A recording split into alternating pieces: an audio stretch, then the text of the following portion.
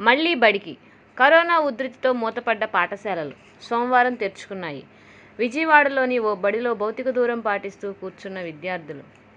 High court ఉత్తర్వులపై stay ఇవ్వండి.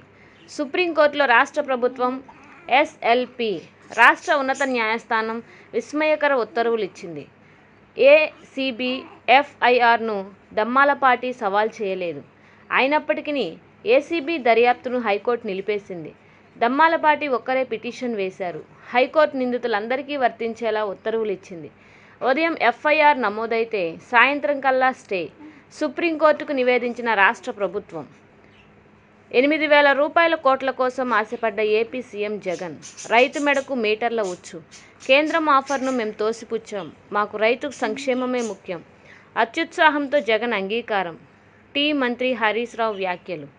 వైజాగ్లో ఏ side? Jagan వచ్చాక అక్కడ డెబ్బై రెండు వేల రిజిస్ట్రేషన్లు. పాలనా రాజధానిగా ప్రకటించక ముందు నిరుడు విశాఖలో యాభై ఐదు వేల రెండు వందల ఇరవై ఒక్క రిజిస్ట్రేషన్లు. ఈ ఏడాది ఆగస్టుకు పదహారు వేల తొమ్మిది వందల అరవై ఆరు డాక్యుమెంట్లు.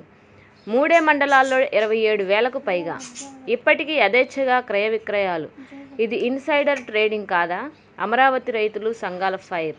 అలజడి వాన అన్నదాతకు కునుకు లేకుండా చేస్తున్న వర్షాలు భారీ వర్షాలకు నీట మునుగుతున్న పంటలు.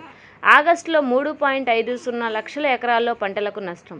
ఈ నెలలో మరో రెండు లక్షల ఎకరాల్లో మునక. మొక్కజొన్న సోయాపై ఆశలు వదులుకోవాల్సిందే. చేతికందే దశలోనే పెసర కందిపై పెద్ద దెబ్బ.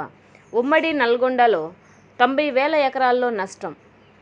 మూడు వందల కోట్లతో నాలాలకు క్యాపింగ్. మేజర్ నాలాలకు ఫెన్సింగ్ ఏర్పాటు. జీహెచ్ఎంసీలో పగడ్బందీగా చర్యలు. ఎక్కడా ప్రాణ ఆస్తి నష్టం జరగకూడదు. బలహీన భవనాలను కూల్చివేయండి. యుద్ధ ప్రాతిపదికన రోడ్లకు మరమ్మతులు. రెండు వారాలు ఉద్యోగులకు సెలవులు రద్దు. వర్షాలపై అధికారులతో సమీక్షలో కేటీఆర్. మా కుమార్తె మరణానికి మంత్రి కేటీఆర్ అధికారులే కారణం. వారిపై హత్య కేసు పెట్టండి. ఈ ఫుల్ వీడియో చూడాలంటే కింది డిస్క్రిప్షన్లో ఉన్న లింక్ ఓపెన్ చేయండి. చూసి ఆనందించండి. మీ ఎఫ్ తెలుగు టీవీలో.